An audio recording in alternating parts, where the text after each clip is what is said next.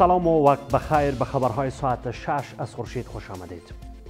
امروز دوشنبه 18 همه هوت 1399 هجری خورشیدی است که برابر می شود با 8 مارچ سال 2021 میلادی. سرخط مهمترین ها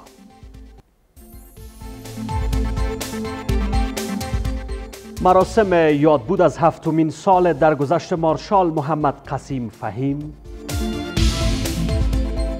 مخالفت معاون نخست ریاست جمهوری با نامه وزارت خارجه امریکا. ستایش از کارمندان بانو در تلویزیون خورشید همزمان با گرامی داشت از هشتم مارچ. سرمایه گذاری دو میلیون دلاری یک بانو در بخش های گوناگون کشور. و پیوستن هزاران زن در شهر دهلی نو به صف کشاورزان معترض در هندوستان. من محمد ایوب نسیمی هستم با مشروع خبرهای این ساعت. معاون نخست ریاست جمهوری می‌گوید که طالبان باید از خشونت ها دست برداشته و به صلح تمکین کنند. امرالله صالح افزود که هیئت امریکایی به او گفتند که پاکستان به تعهداتش در مورد فشار آوردن بر طالبان از بهر تأمین صلح در افغانستان عمل نکرده است. در همین حال مراسمی که به مناسبت هفتمین سال یاد درگذشت مارشال محمد قسیم فهیم در کابل برگزار شده بود در آن چهره های سیاسی مارشال محمد قسیم فهیم را شخصیت صلحخواه و تکرار ناشدنی دانستند. احمد نوید کاوش گزارش می‌دهد. از هفتمین سال روز درگذشت مارشال محمد قسیم فهیم زیر نام صلح و امنیت در تالار لوی جرگه یاد بود شد. چهره های سیاسی که در این مراسم اشتراک داشتند مارشال محمد قسیم فهیم را شخصیت صلحخواه دانسته و ایجاد ارتش و اجماع ملی برای تشکیل حکومت نوپای افغانستان را حاصل تلاش های او دانستند.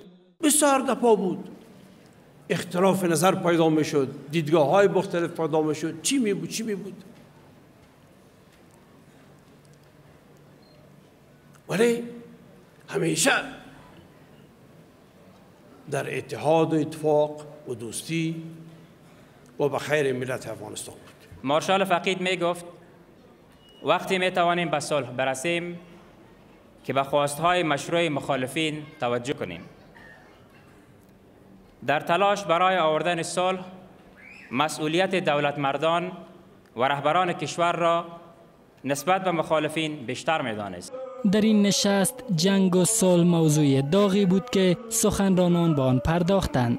معاون نخست رئیس جمهور می‌گوید تا زمانی که مشکل افغانستان با پاکستان حل نشود صلح در افغانستان نمی آید او تاکید می کند که هیئت امریکایی به او گفته است که پاکستان هیچ فشاری بر طالبان وارد نکرده است. پاکستان تا این لحظه بین امریکا و طالبا بین افغانستان و طالب ها یک پیک بوده پیام, پیام رسان بوده مسنجر بوده. در همین حال مشاور ارشد امنیتی و سیاسی رئیس جمهور غنی می‌گوید که هیچ تغییری در عملکرد طالبان رونما نشده است. چیزی را که ما از طالبات دیدیم تا هنوز هیچ گونه چرخشی در فکر و سیاستشان نیست از سوی هم رئیس شورای عالی مصالحه ملی می‌گوید که افغانستان در آزمون بزرگی در طول تاریخ سیاسی خود قرار گرفته و راه بیرون رفت از وضعیت جاری را کار بیشتر در مورد ایجاد اجماع ملی در کشور می‌داند. سرمایه عظیم که ملت افغانستان است و مجاهدین افغانستان است و مقاومتگرای افغانستان است. و ای اهل ای جامعه مدنی سران قوم است علماست که کلش دیده میگه همراه ما شریک است که امی دستاورد که است که یک فرد یک رأی داشته باشه این امی دستاورد است که نباید معامله شود. این امی را بسیج بکنیم هیچ چیز بالای ما شما تحمیل شده نمیدن. مارشال محمد قسیم فهیم در سال 1336 خورشیدی در روستای عمرز ولایت پنشیر به دنیا آمد. و پس از جان باختن احمد شاه مسعود قهرمان ملی کشور فرمانده ارشد جبهه مقاومت در برابر طالبان شد آقای فهیم در دوران حکومت حامد کرزی رئیس جمهوری پیشین به رتبه مارشالی رسید و سرانجام از اثر مریضی که داشت درگذشت.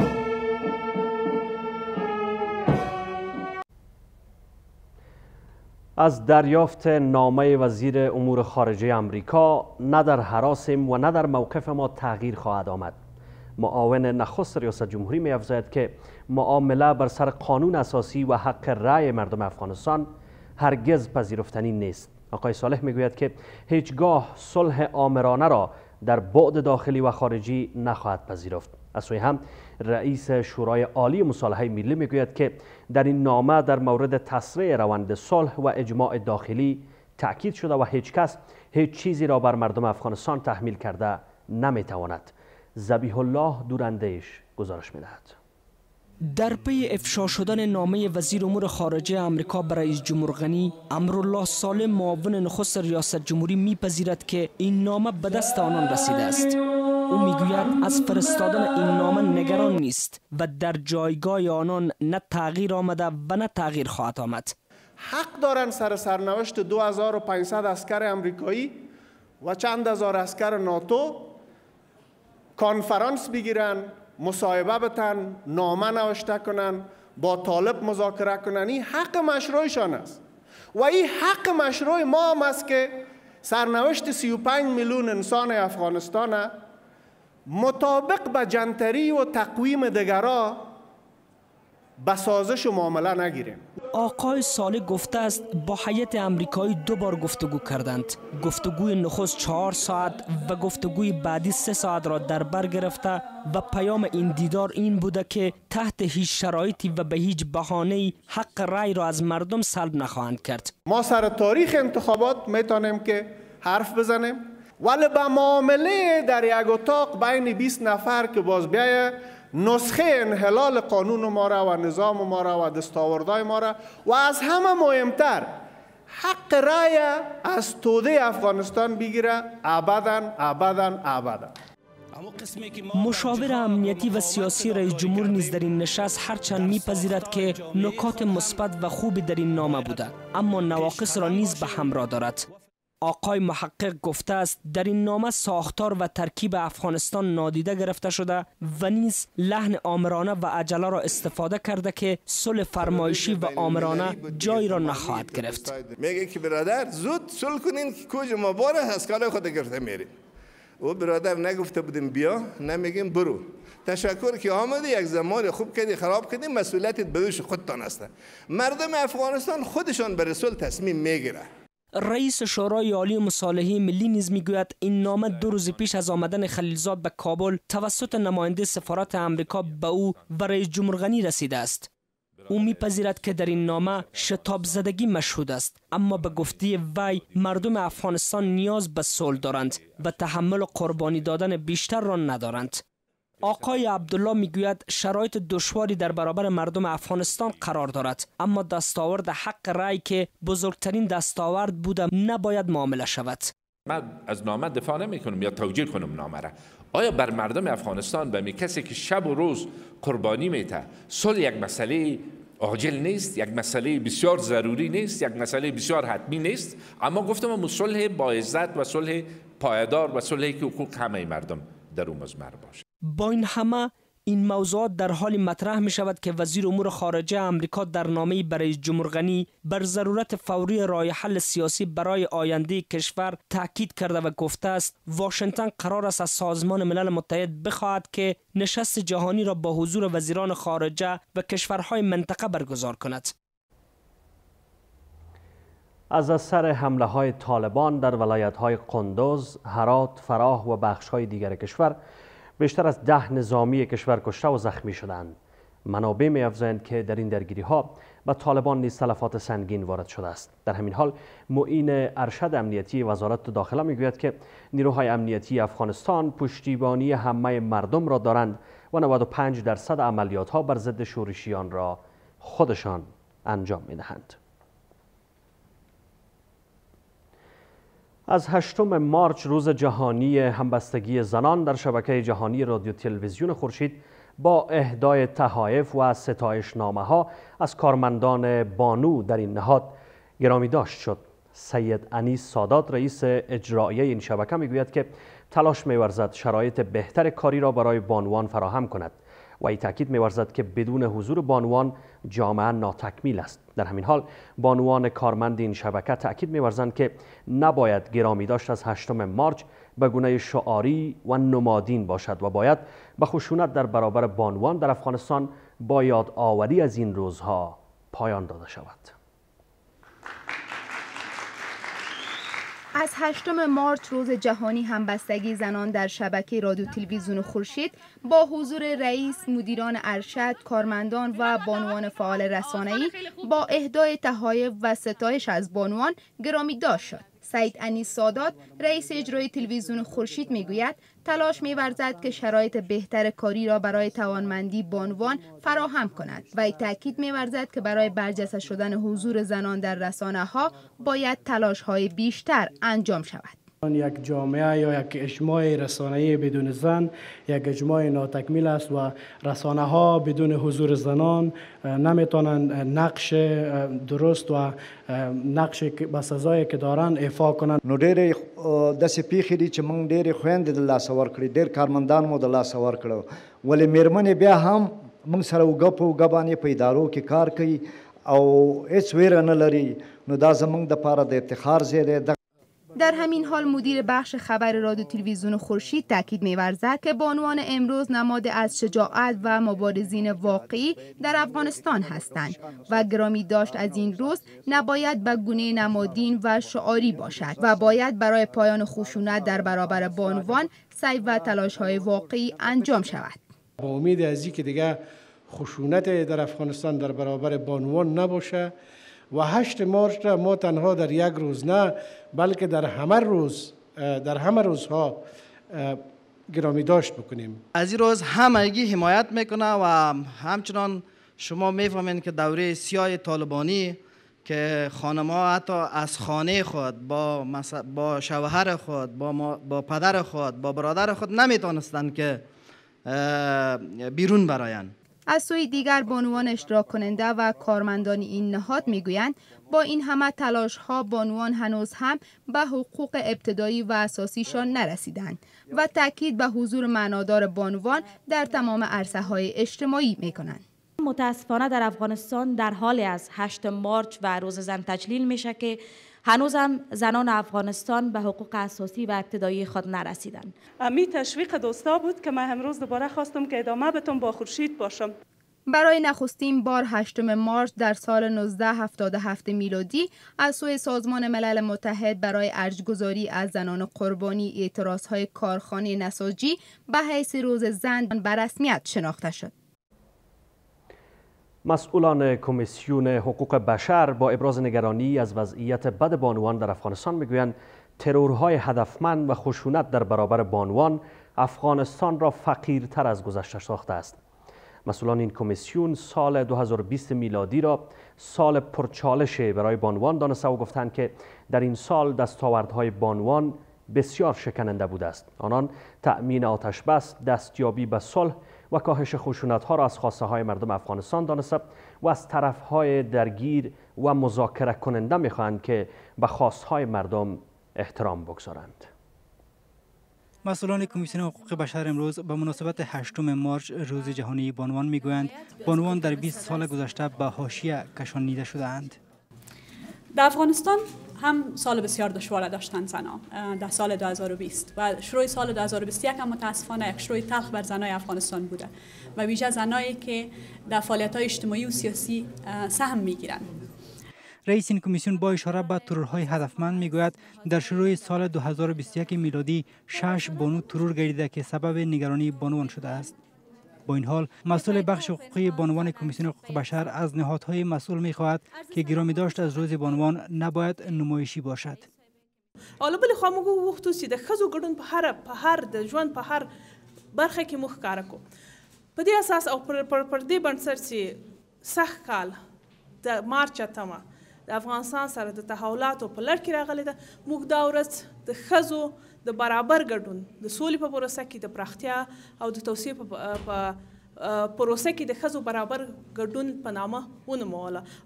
در همین حال بانو حبیبه علیزاده نمایشگاه عکاسی را از بحر گرامی داشت. از روز جهانی بانوان زیر نام انار زنده است. به همکاری کمیسیون مستقل حقوق بشر برگزار کرده است. بانو علیزاده میگوید بانوان امروز بانوان 20 سال پیش نیستند. زنان امروز افغانستان با زنان 20 سال گذشته در دوران طالبان فرق کردند آنها صاحب دستاوردهایی شدند و از حقوق خود آگاهی آگاهی به دست آوردند با این حال کمیته مسئولیت خبرنگاران نیز در تازه ترین یافته هایش از کاهش 18 درصدی بانوان در رسانه ها ابراز نگرانی کرده و کار خبرنگاری در رسانه های افغانستان را نگران کننده دانسته است. کمیسیون مستقل انتخابات از نهایی شدن پیشنویس جدید قانون انتخابات خبر می دهد. این نهاد می‌گوید که بر بنیاد این طرح صلاحیت های دفترهای ولایتی و مدیران کمیسیون مستقل کاهش خواهد یافت و امکان تقلب در انتخابات های بعدی را محدود خواهد ساخت. رویدادهای اقتصادی پس از وقفه کوتاه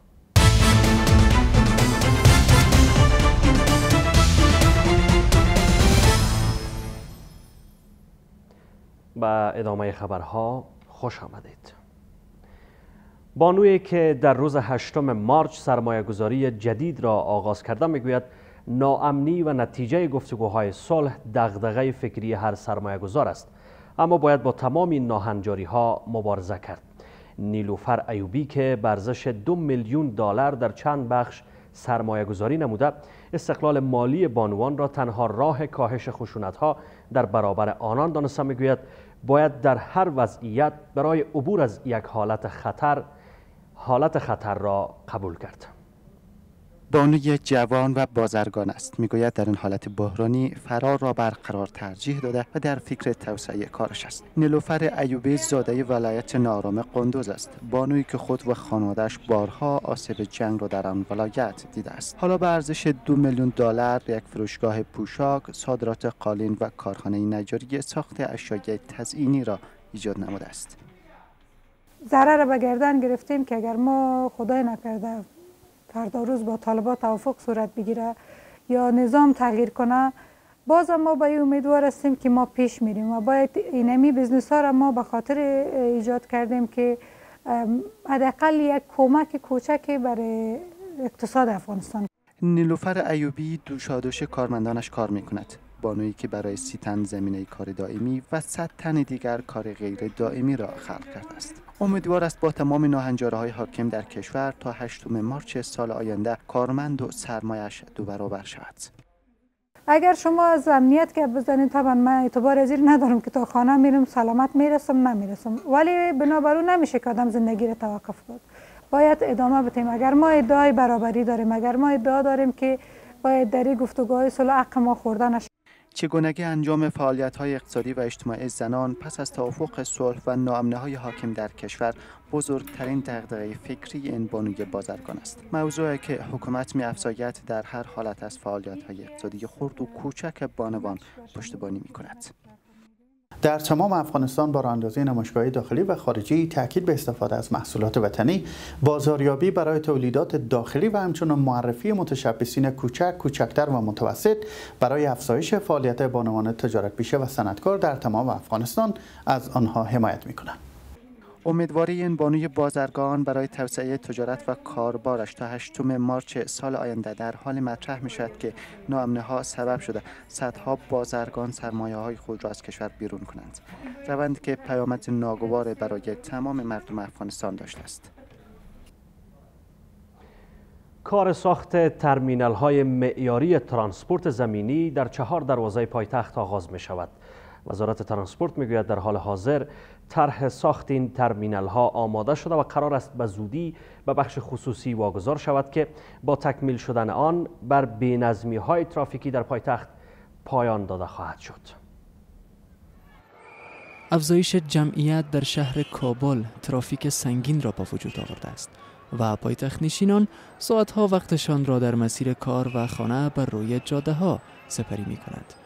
وزارت ترانسپورت عامل پایان دادن به این وضع را ساخت ترمینال های ترانسپورت زمینی در چهار دروازه کابل دانسته و تاکید می‌ورزد در ساخت این ترمینال ها تا 400 میلیون دلار سرمایه گذاری خواهد شد. وزارت ترانسپورت به خاطر ساختمان ترمینال ها در چهار دروازه کابل پلان داره سروی و دیزاین از این قبلا تکمیل شده. امید است به زودی ساختمان شد تا مشکلاتی که در این قسمت وجود داره مشکلات در آینده حل شود.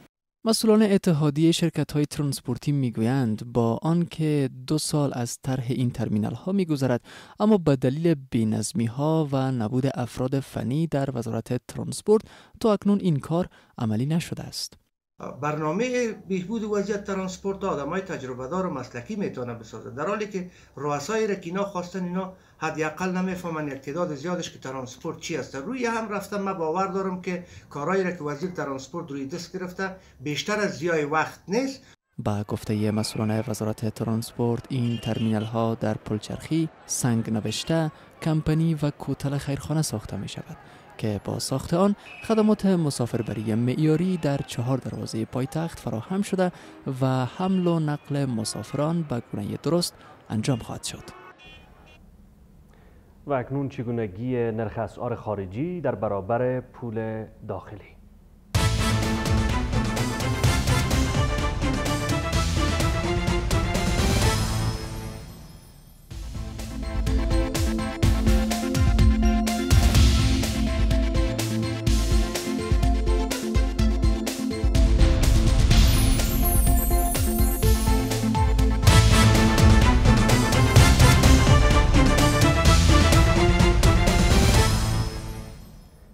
باز هم خوش آمدید اکنون تازه ترین های جهان. در سال روز همبستگی زنان جهان امروز هزاران زن در شهر دهلی نو به صف کشاورزان معترض پیوستند. به گزارش خبرگزاری روی ترز کشاورزان در هند از چند هفته و این سو در اعتراض به قانون تازه کشاورزی در اطراف شهر دهلی نو گرد آمدند. بانوان هندی با سردادن شعارهای بر ضد قانون تازه کشاورزی خواهان اتحاد بانوان برای پشتیبانی از کشاورزان شدند. اعتراض های گسترده شهروندان لبنان در برابر اوضاع نابسامان اقتصادی در شهرهای گوناگون آن کشور وارد هفتمین روز شد. به گزارش خبرگزاری روی طرز معترضان امروز با آتش زدن تایرهای موتر جاده های اصلی پایتخت را بستند. معترضان می‌گویند که دولت برای از بین بردن ورشکستگی اقتصادی که از اوایل سال 2019 میلادی دامنگیران کشور شده هیچ کاری نکرده است. وزارت خارجه امریکا گفته است که بر بنیاد توافقنامه تازه میان آن کشور با کوریای جنوبی سیول سقف هزینه برای نگهداری نظامیان امریکایی در آن کشور را افزایش می‌دهد. با گزارش خبرگزاری روی طرز میزان هزینه های کوریای جنوبی برای نگهداری هزاران نظامی امریکایی در این کشور موضوع اصلی مورد اختلاف دو کشور در چند سال پسین بوده است. سخنگوی وزارت خارجه امریکا افزود است کشورش خواهان ادامه ائتلاف به متحدان خود است. خبرهای ورزشی پس از رفت و برگشت کوتاه.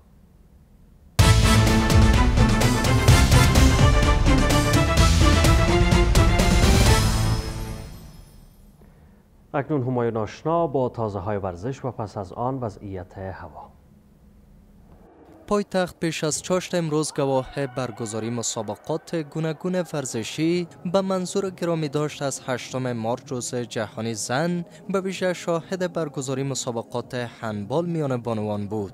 فدراسیون هنبال افغانستان برای گرامی داشت از این روز رقابت های هنبال را با اشتراک دو تیم کابل الف و کابل بی پیش از چاشت امروز برگزار کرد که سرانجام این رقابت ها با درخشش موفق هر دو تیم به همراه شد و در نتیجه با تساوی میان هر دو تیم به پایان رسید. یعنی زمان در کل ولایت خود ما مسابقات 8 مارچ دایر کردیم و از خاطر رشد ورزشکارای ما و رشد بانوای ما که بتوانند که یا هم تشویق شوند هم در آینده هر برنامه‌ای که باشه ما خوبتر اجرا کرده بتونیم بازیکنان می‌فهمیم شرایط بسیار زیق است ولی باز هم با این شرایطی که وجود داره از لحاظ امنیتی و اینا ولی باز هم اینا می‌خواین بیاین و بازی خود انجام بدن. راگذاری قسم برنامه باعث میشه که تمام زنها تمام دخترها تشویق شوند و بیاین به ورزش رو بیارن ورزش کنن و نه تنها ورزش بر سلامتی سلامتی است بلکه یک سرگرمی مفید بر تمام زنان و بانو است از هشتم مارچ روز جهانی زن با پیگیری مسابقات هندبال از سوی فدراسیون این رشته در حال امروز گرامی داشت شد که قرار است تیم بانوان هندبال به زودی برای ایجاد اردوگاه تمرینی و مسابقات تدارکاتی به پاکستان فرستاده شوند.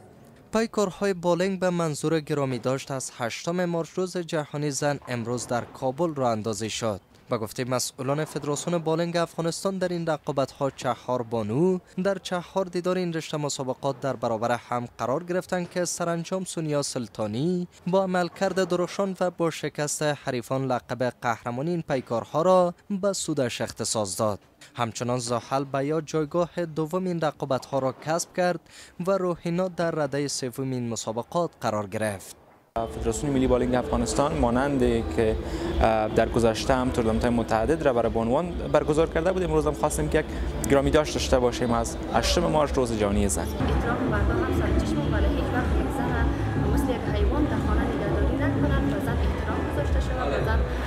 محبت داده شود به حیث یک خوار به یک مادر به یک همسر.